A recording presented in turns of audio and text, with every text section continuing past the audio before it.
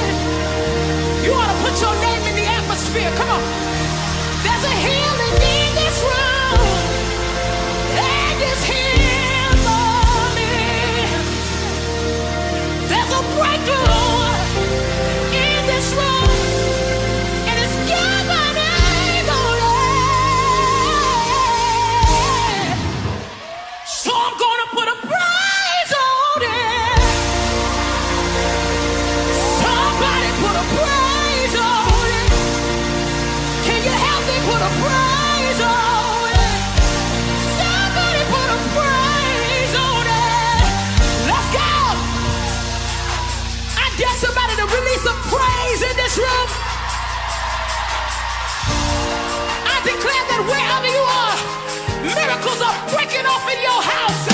You ought to declare there's a miracle in this room, and it's got my name on it. Let's go.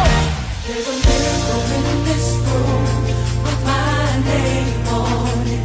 There's a healing, There's a healing in this room. and it's here for me. Say there's a breakthrough in this There's a breakthrough in this room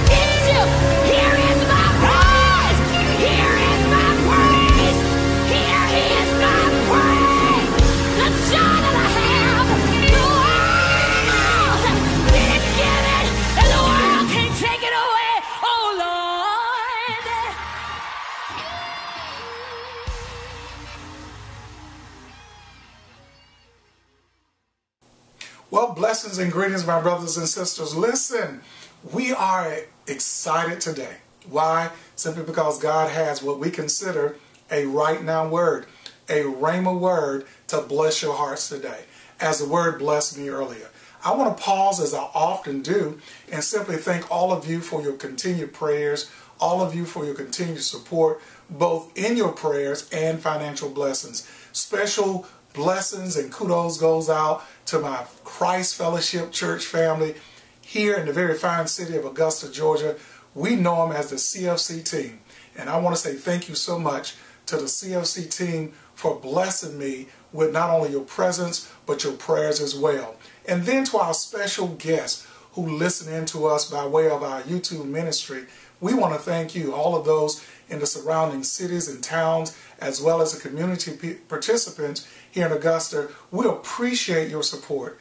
We appreciate your prayers and thank you from the bottom of my heart for you being with us and supporting us through these trying times. Now, in a few moments, we're going to be looking at the Word of God, Psalms 43, and we're going to start reading at the first verse. That particular passage or that particular division shall be the basis of our argument for a little while today. I'm excited because we're in the last month, we're in the last week of the month, we're in the last stages of the month of this year. And all of us who've experienced so many heartaches, pains, and trials and up and downs here in this 2020 season, I'm excited because God is still on the throne. And not only is he still on the throne, God is still getting ready to do a great work. We just got to trust him even when we cannot trace him. So before we get into the Word of God, before we try to dissect the Word of God for our lives today, would you pray with me as we seek God's face and his direction for our life? Let us pray, my family. God, we thank you for just being God and God alone. We bow, God, in humble submission.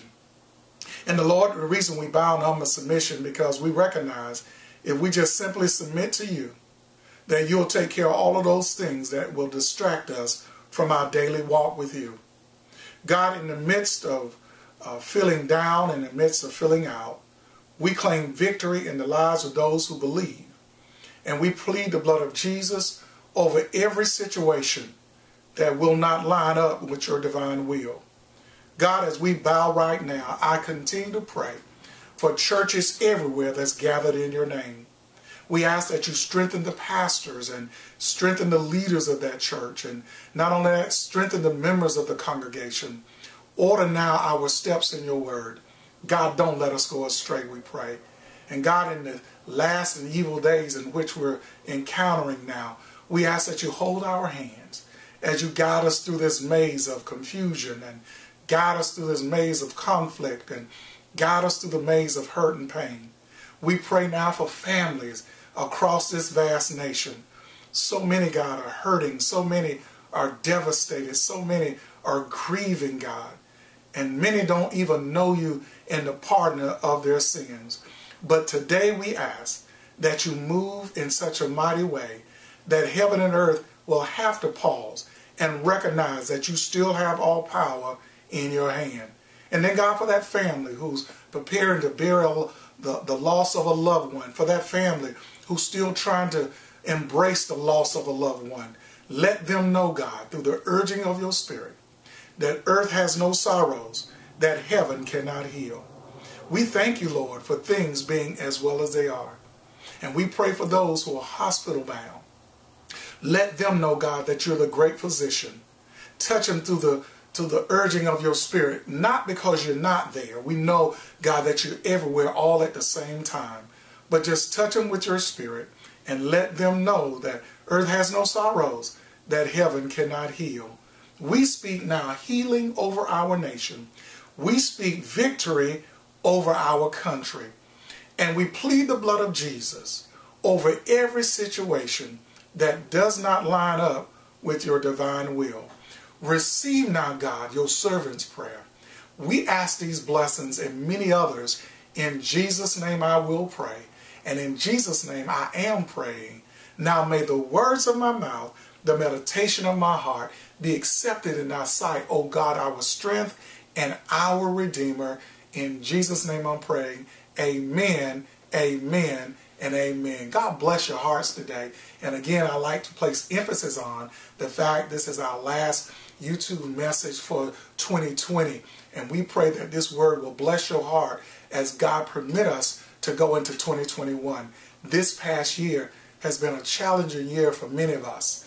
And I promise you that if you continue to trust God, even when you cannot trace Him, guess what? God will see you through whatever you're going through. The psalmist have already told us that, yea, though I walk through the valleys and the shadows of death, I will fear no evil, for thou art with me. Now, come go with me, if you will, very briefly as we engage this passage, and hopefully we can share some information that will bless your heart and say, Lord, I am a witness to your word. It can be found in Psalms 43. Psalms 43, the 40, 43rd division of Psalm. And we're going to start reading at the first verse. And I'm reading from a different standard, the New NIV standard.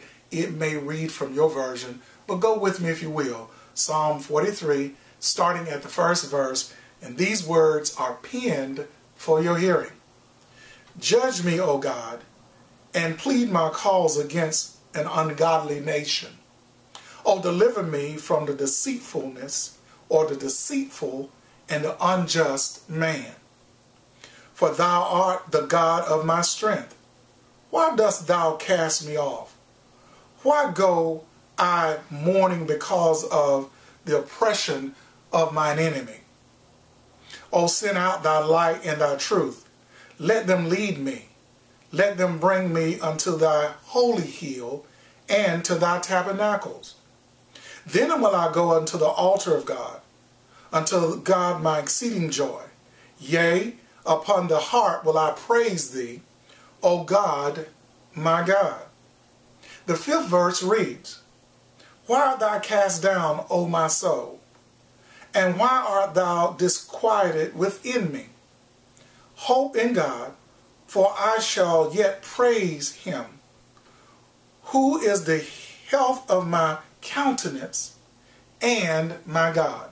I want to read that last verse, that fifth verse, just one more time. It says, Why art thou cast down, O my soul?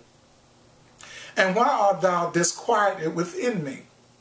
Hope in God, for I shall yet praise him, who is the health of my countenance and my God.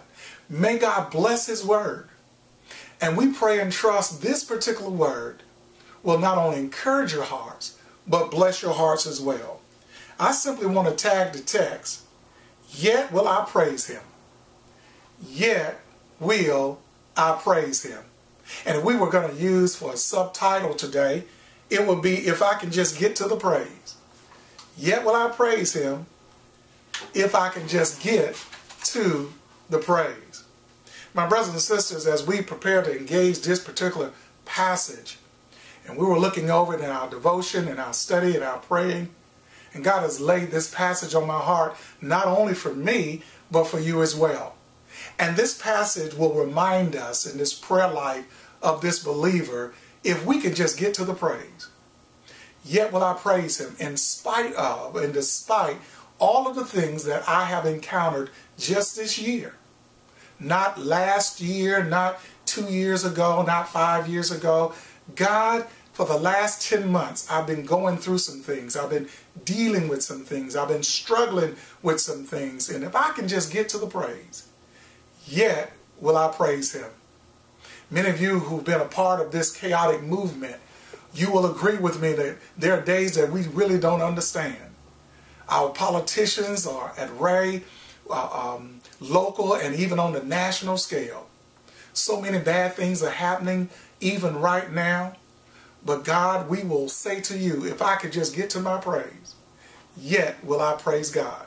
God is entrusting us to give him the praise. Why? Simply because God deserves not only the honor, not only the glory, but God himself deserves the praise. There ought to be a praise on our lips in spite of the pain that's in our hearts. Can I say that again just to bless your heart?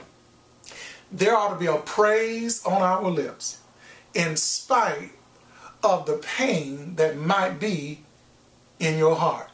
Today, as we examine this particular passage, we will discover that you can literally praise your way through your pain.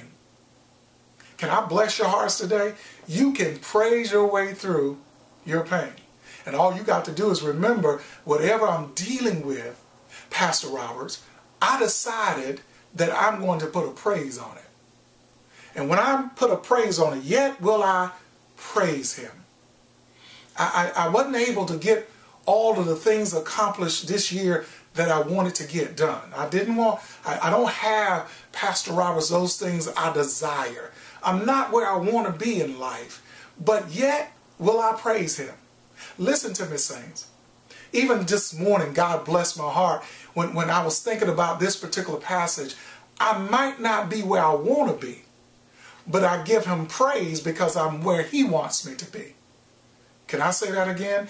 You may not be where you want to be in life, but you ought to give him praise. Watch this, because you're where he wants you to be. And see, when you operate in the will of God and in the ways of God, allow God not only to order your steps, but allow God to give you the promotion, uh, allow God to give you that promotion that you deserve in your life. And I'm not talking about just a promotion on your job. God elevates, God promotes. So when you allow God, when you allow God to do it, guess what? It's done indeed. So again, I stress to you, you may not be where you want to be, but just make sure you're where God wants you to be. And if you're where God wants you to be, you can say without a shadow of a doubt, without hesitation, you can say with me, yet will I praise him. I wasn't treated fairly this year and, and, and I, I felt like the world was against me. I felt like my whole world was caving down or crumbling, but yet will I praise him. I, have been misunderstood and, and people uh, have taken me wrong, but yet will I praise him. Matter of fact, I looked at my budget and it cannot be balanced, yet will I praise him. I, I've been to the doctor, he never gives me a good report, yet will I praise him. When we look at the writer, the poet, the writer of this particular psalm, you will discover he started out with a period of depression. He started out in his prayer with discouragement, but at the conclusion of this passage, we will discover he says, Yet will I praise him. And my brothers and sisters, I say to you today, if I can just get to the praise. And there are times, I don't know about you, but there have been times in my life I don't feel like praising God. Can I just be transparent? Can I just be real? There are times when I don't even feel a praise in my heart. I don't feel a praise in my being and in my and who I I don't feel like giving God the praise. I'm distracted by this thing called life. But when you're distracted by this thing called life, just remember who holds life in his hands. Yet will I praise him. Check this out, if you will. Check this out. You might be that person. You might be that person who've given God the best of your service this past year. You might be that person who've given God the best of your time and the best of your tithes and the best of your talent, but still you find yourself going through turmoil. This text will show us, yet will I praise him. And God is speaking to someone today. He's simply saying to us, when you're dealing with stuff, you got to put a praise on it. When you're wrestling with things, you got to put a praise on it. When you're having those sleepless nights, oh, bless the Lord, you've got to put a praise on it. When you feel like all hope is gone, God says, put a praise on it. Yet will I praise him. And I'm looking forward to not only the new year, I'm looking forward to God to show his hand to show America, to show this world, to show this nation that God had never left us. And I'm going to go ahead and put a praise on it and start shouting right now simply because I know that the God that I serve, He's already taken care of what I'm praying for. This is going to bless somebody today. I promise you will. And the, and the, and the promise of God is, God says to you, as He said to me, put a praise on it. Praise me and I'll take care of you. Here it is. He, he didn't say we wouldn't deal with troubles. He didn't say we wouldn't have trials. And, and, and I struggle with the ministries that tell people that once you accept Christ, everything will be all right. No, no, no. Once you accept Christ, that's when all hell breaks loose. Once you operate in the newness of God, that's when everything comes at you. And sometimes all at the same time. Hear me today, saints, if you can just put a praise on it. If you can wake up in the morning and say, God, my back is hurting, my feet is hurting, I have a migraine, but I'm going to put a praise on it. God, when I got up this morning, I got to face this bad news. I got to look at things I can't control. I got to deal with stuff that's somehow dealing with me. God, I'm going to stop dealing with it and just put a praise on it. Yet will I praise Him. Why should we praise Him? Because if you wake up and you're still in your right mind, give God the praise. If you wake up and you may not be the best of health, give Him praise because you do have praise as, as I grow in grace and I grow in the maturity of God, I've learned how to be appreciative of the little things that God has blessed me with. And the more I'm appreciative of the little things that God has blessed me with, guess what, saints? I've learned to put a praise on it. I was one of those ones. I was. I was one of those ones who thought years ago I had to have a larger house. I had to have the bigger car. I had to have the finer things in life. But now I discovered that if I learn how to put a praise on what God has already given me, guess what? God will take care of me in the midst of a pandemic. And, and sometimes we forget what God has already done that we can't celebrate what he's doing. If God is keeping you, somebody hear me today, if God is keeping you through all of this foolishness that's going on in the world today, if God is giving you life and breath in your body that you can behold a new day with new grace and new mercy, you ought to put a praise on it. I don't care if you sit down at your table and all the thing you have is a lentil of soup, a bowl of soup, put a praise on it. I don't care if you had to wash those clothes in order to, wear something today. You ought to put a praise on it. If I can just get to the praise, if I can just get through what I'm going through and praise God, watch what the psalmist says. He says, Yet will I praise him. As we look at this particular text and we look at what is God saying to us today, oh, bless his name. God is speaking to all of us today. Yes, he's speaking to every one of us, and he says, put a praise on it. Yet will I praise him. This psalmist, in, in order to embrace the, 30, the 43rd division of Psalm, I want to encourage you today to read the 42nd in its entirety because technically the 42nd division and the 43rd division, they all tie together. They link together. So don't let commas and periods separate the two because technically they are all one psalm. And in order to understand the 43rd psalm, you've got to understand what was happening in the 42nd psalm. But when we look at it, we feel here or we see that the writer of this text was dealing with discouragement. He was dealing with discouragement that started in the 42nd division of Psalm and it spilled over into the 43rd division of Psalm. And so in with him dealing with discouragement, he tells us, I open my prayer being discouraged and depressed. He says, but the reality of my discouragement, he, he tells us in the 42nd division, he tells us how to recognize what's going on. So we see the reality of the discouragement. Number one, sometimes it's a result of something that happened in the past.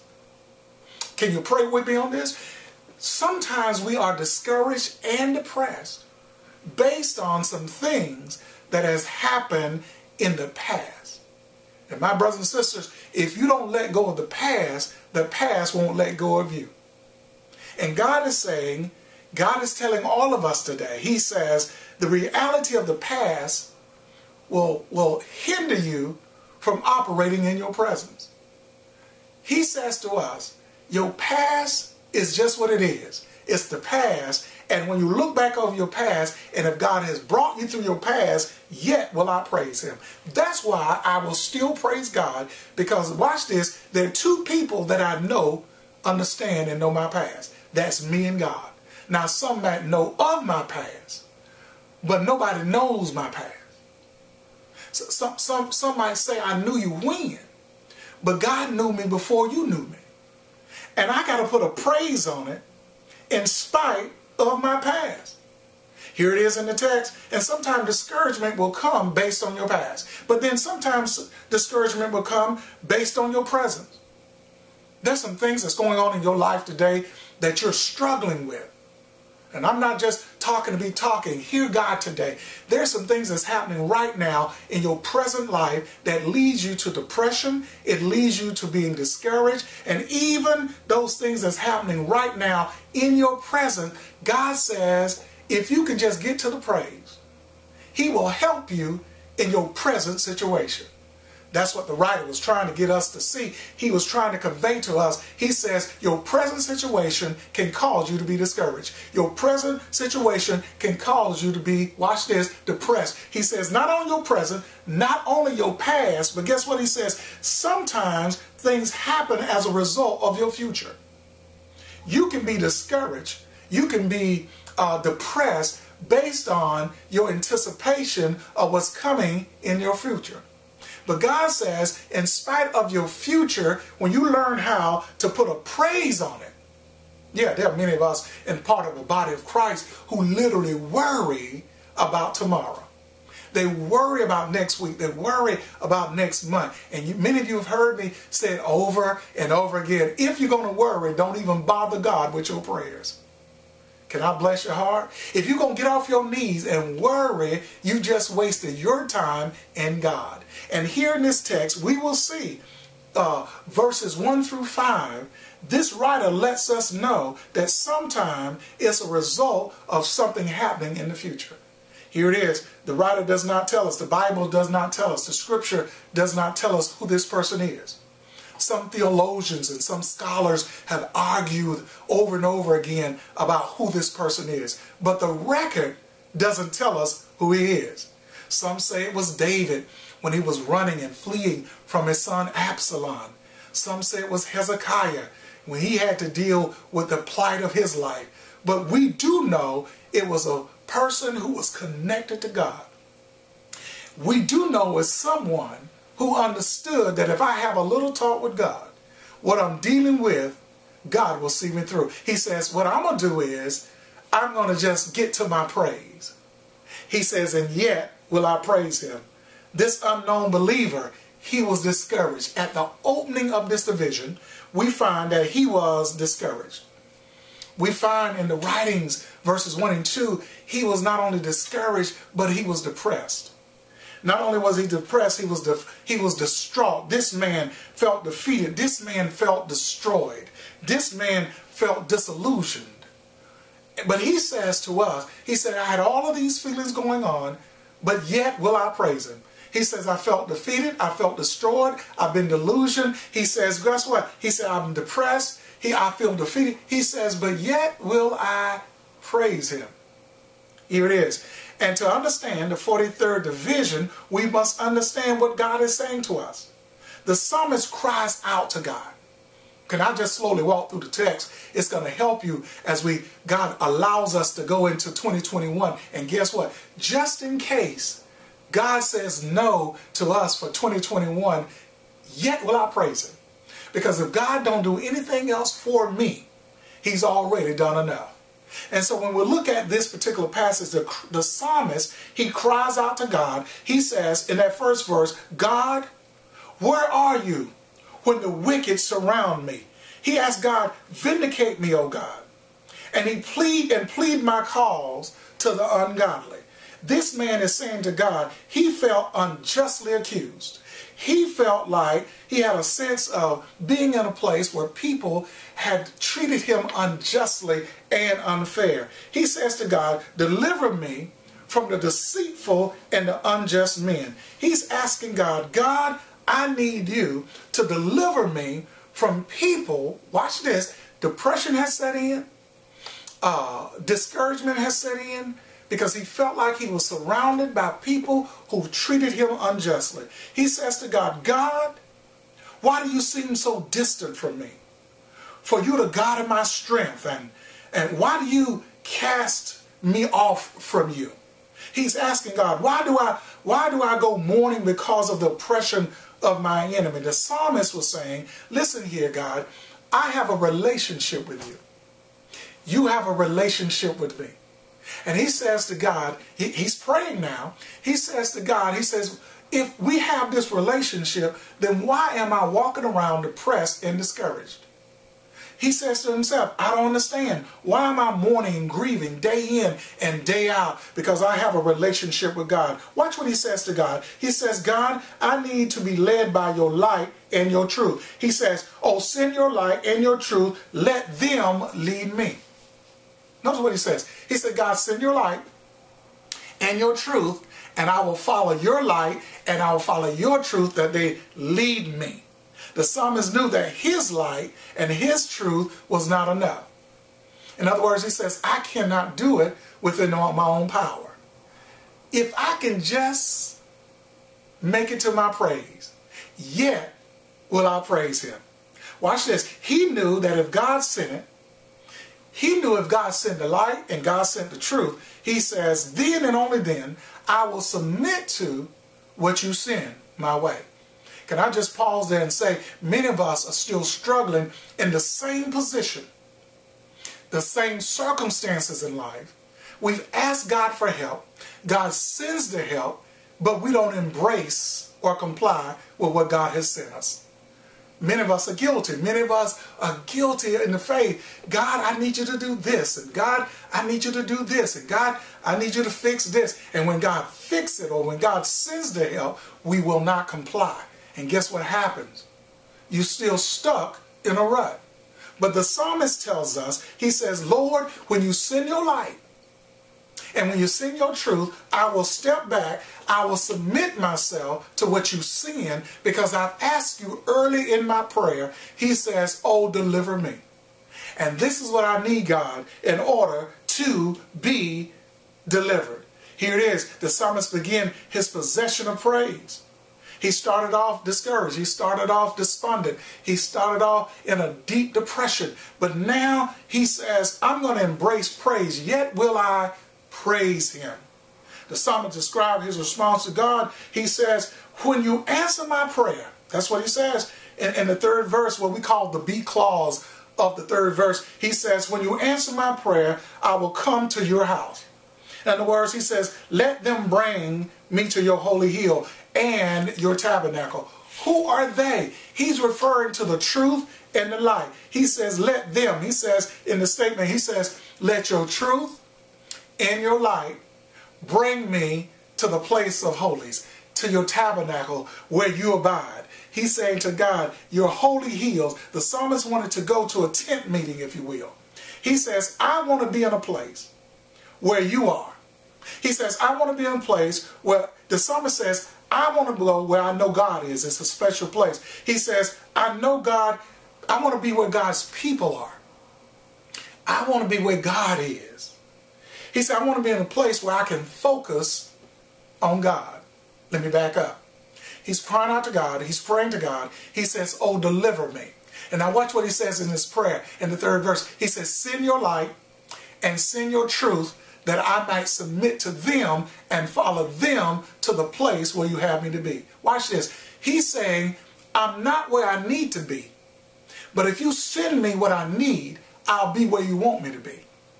And he's saying, where you want me to be, I want to be a place where there's exceeding joy there. I want to be in a place where we, I'll grab the harps and we'll begin to praise you, God. Yet will I praise him.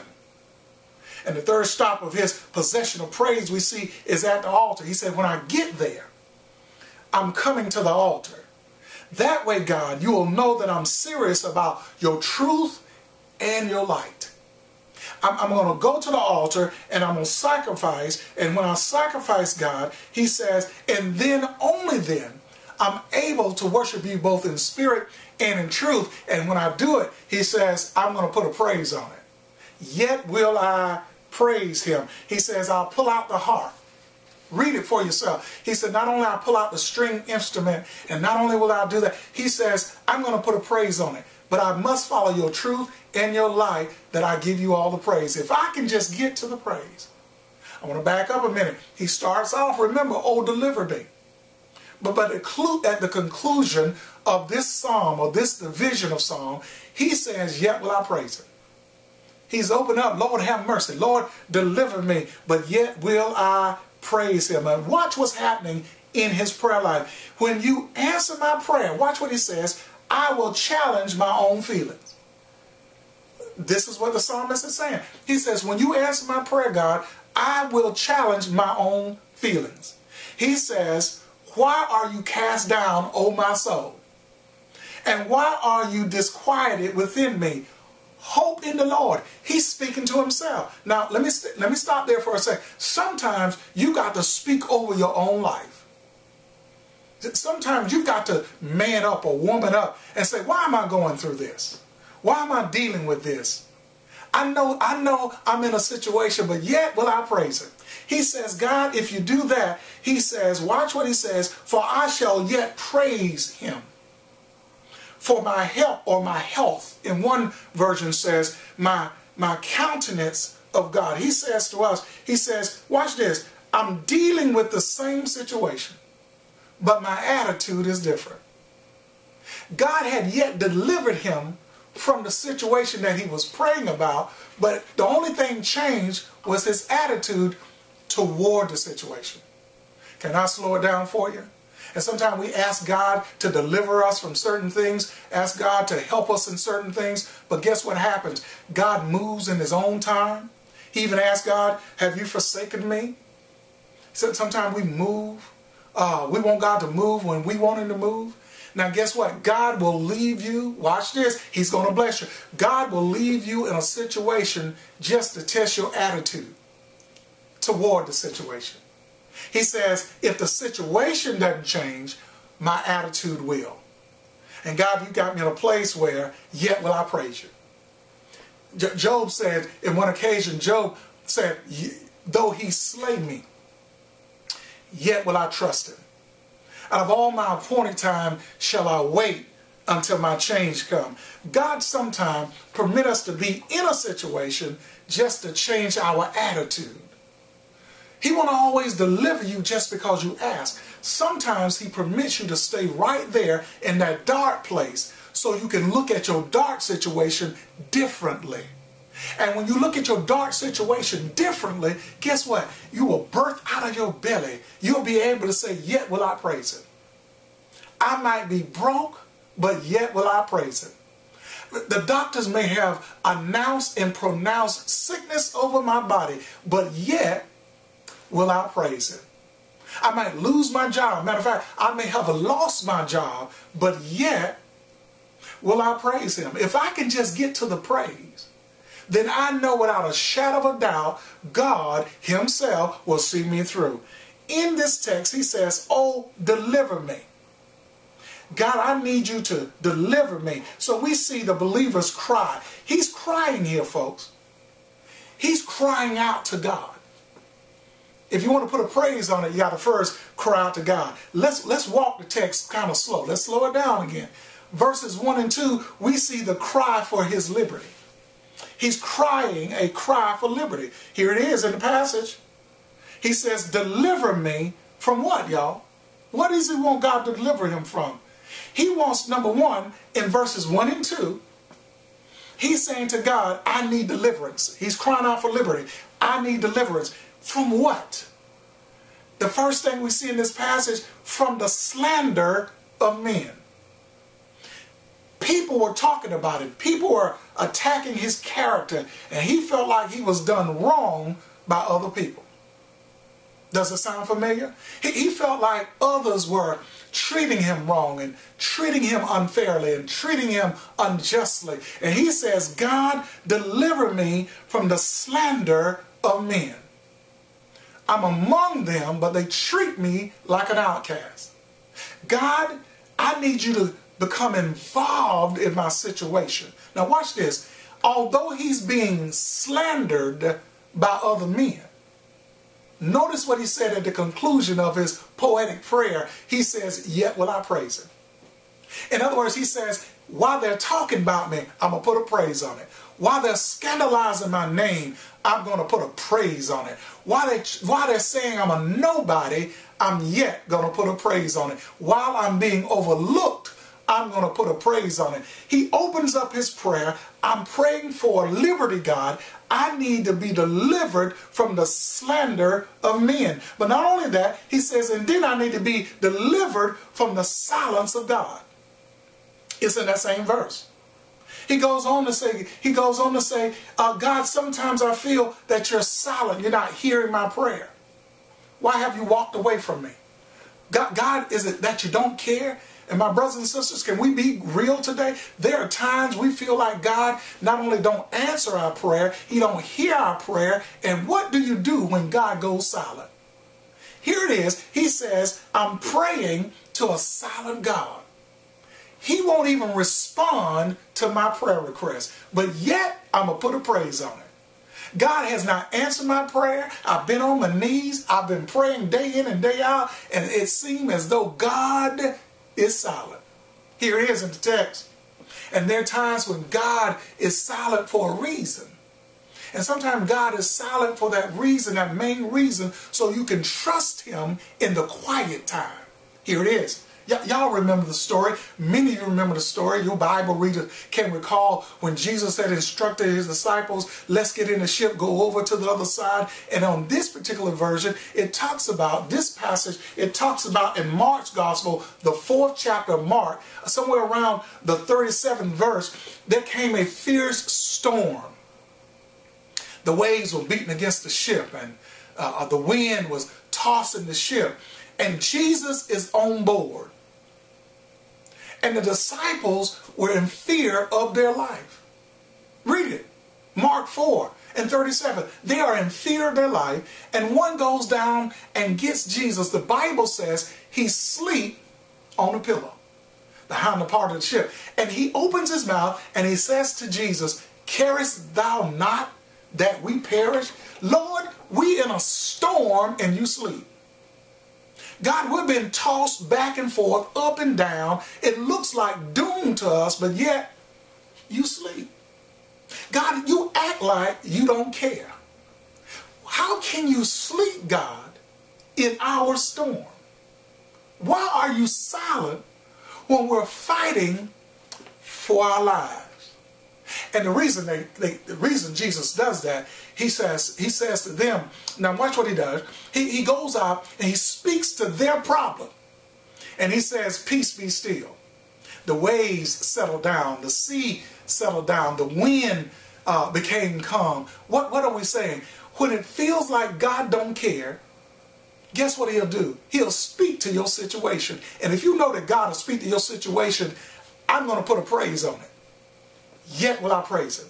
Not only the disciples in the boat were struggling with the, with the storm, but we see some people, two sisters, one day.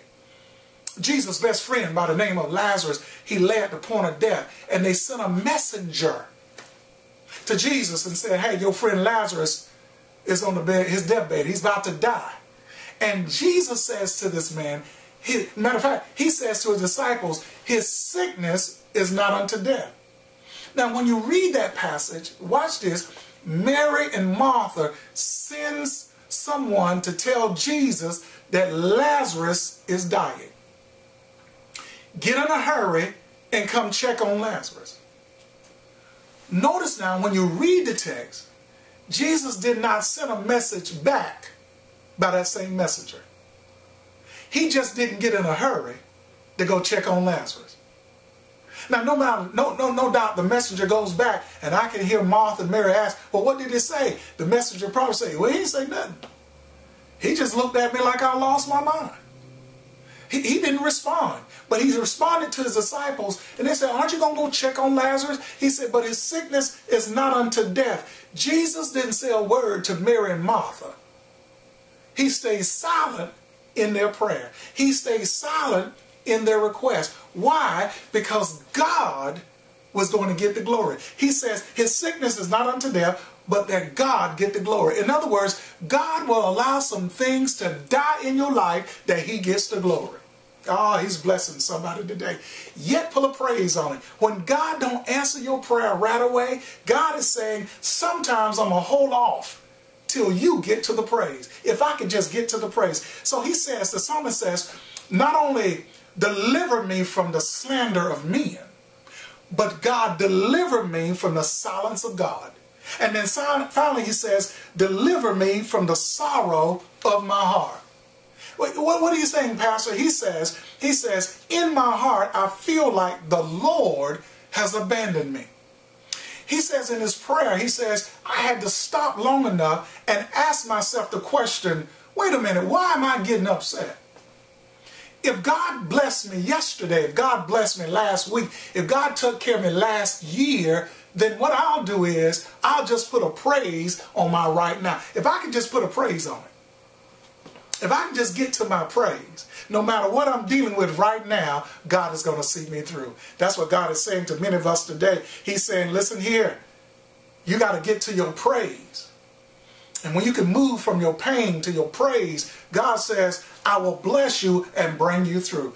God says, I'm going to promote you through your praise. I'm going to elevate you through your praise. I'm going to establish you through your praise. Yet will I praise him. Here it is. He cries out not only for liberty, but he cries out for leadership. He says, I desire God's word. Send your truth and your light that I might be able to put a praise on it. He says, God, if you deliver me through your word, he desires the word of God. If you deliver me through your word, he says, God, when I get to the place where I need to go, I will praise you. Matter of fact, he says, in spite of it, yet will I praise him. I desire his word. I desire his way. He says in his prayer, he says, I'm going to walk in the way that God will have me to go. My brothers and sisters, God is speaking to someone today. He says, when you operate in his will, his way, his word, his worship, God says, then praise will flow from your belly. I got to put a praise on it. Yet will I praise him. And finally, as we engage this particular passage, he said, when I get there to where I need to be, notice what he says, I'm coming with a sacrifice. There it is. He says, watch, watch what he says. He says, I vow to do what God has called me. And guess what he says? I will go. He says to us, the psalmist says, in order to put a praise on it, I'm going where God is sending me. I will go. He says there must be a sacrifice offered, and when there's a sacrifice offered, you can sing a song. I want to put I want to bless your hearts today as we climax the conclusion of this particular year. God is saying, yet praising. I, I know you've had some difficulties in your life. I know you're dealing with some burdens that seems to be hard to bear. Yet will I praise him my brothers and my sisters, as you move forward and as you journey in life, get that in your spirit, put that in your spirit, man, put that in your heart, yet will I praise him. In the morning when I get up, it may not be what I wanted to be, yet will I praise him tomorrow, next week, when I begin my day, when I begin my walk with God, my world might seem ups, turn upside down, yet will I praise him. Can I bless your hearts today? God is saying to all of us, put a praise on it. Yes, we've had some bad times lately. We've had some difficult moments lately, but you've got to put a praise on it. You've got to shout your troubles over. And can you do that? Yes, you can shout them over. You can take your troubles, put them under your feet, and put a praise on it. God says, when you learn how to praise me through your pain, I will promote you with my provisions. That's what I say to you today. Put a praise on it. Yet will I praise him as a pastor. I may not have the ministry that I desire from God, but yet will I praise Him. As a man of God, I may not be where I want to be in Christ, but yet will I praise Him. As a child of God, I may not be doing all of the things that God has required me to do, but yet will I praise Him. Why? Because if He brought me through this, He'll take me through that. Yet will I praise Him. God is saying to you today, as He said to me, yet put a praise on it my brothers and my sisters, before you operate in a spirit of depression, before you become too despondent, and before you become too discouraged, learn how to say, Yet will I praise him. I, it really doesn't matter now. You may not be all that God wants you to be, but God is requiring you to simply put a praise on it. And may God bless you, and may God keep you is my prayer as we as we usher in the new year, as we walk into the newness of God. Walk in with a spirit, yet will I praise him. God, I was not able to accomplish all of the things that you required of me, yet will I praise him. That's all I have for you today. May God bless you. May God keep you is my prayer. Take it with you. Everywhere you go, yet will I praise him. When you go to work next week and they get on your nerve, yet will I praise him. When your children acting strange, yet will I praise him. When your companion or when your spouse just not doing right, yet will I praise him. When it seems like the world has come up against you, yet will I praise him. And even when you're part of the body of Christ of a local church, and it feels like your own congregation have neglected you and walked away from you, the psalmist says, but yet will I praise him. God is saying to all of us today, put a praise on it. Let us pray. God, we praise you now because we come understanding the fact that ups and downs of life require us to put a praise on it. We come to you right now because we recognize the fact that we've had good days and bad days, but all of our good days still outweigh our bad. For that, we give you praise. We praise you, God, when things are well, and God, we praise you when things are not so well. Because we know at the end of the day, if we simply put a praise on it, you will see us through. Receive now, God, your servant's prayer. In Jesus' name we pray. And all of God's saints simply said, Amen, Amen, and Amen. I am excited. Yes, I'm excited because God has taught me through this word. Roberts, put a praise on it. Yet will I trust it. I'm going to put a praise on everything that happens in my life, good or bad. I'm just going to give God the praise. And if I give God the praise, he'll give me the provisions and the desires of my heart. Hear me today, saints. Yet will I praise him. May God richly bless you. May God keep you is my prayer. And we're wishing you on behalf of Christ Fellowship Church family and the Roberts family and Pastor C.D. Roberts here in the fine city of Augusta, Georgia, we're wishing you a very prosperous and a happy new year. Walk into the newness saying to yourself, yet will I praise him. Amen, amen, and amen.